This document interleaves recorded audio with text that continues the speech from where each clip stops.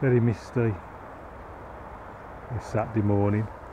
Um, it is nice to see the sort of autumn mist. Sort of summer's at an end now. And sort of preparing for winter, I think, now, Mother Nature. But I had an interesting message comments on YouTube from Scood2323 that reads I find it interesting the way you use the watercolour paint like oil paint, um, applying it thickly. Wondering if you put a type of water resistant layer, perhaps some kind of type of varnish on the paper first, you could manipulate the paint more and it would give you more time to move the paint where you want it.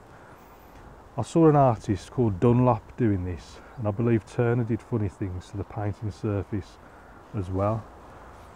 Um, I've never I've never tried anything like that. I can imagine it would um, work for some very interesting effects I'd imagine. Um, very much a case of experimentation I think. But I do like as I mentioned as I mentioned I've spoke about it before, I mean I do like oil paints and I like I do try and get the sort of oil painting effect in watercolours um, I've, I've tried oil painting, I've done it again recently, but I always seem to come back to watercolours for some reason. Um, maybe it's just the, the, the, fast and loose style of it, the sort of no faff. Just you can just get on. I can just pick them up and just get on with it without any messing about. I can get it on my hands. I can get my fingers in there. Um, I think it's the whole speed thing. I don't know. I don't know. Um, so I do like oils and I try and paint like oils but with watercolours.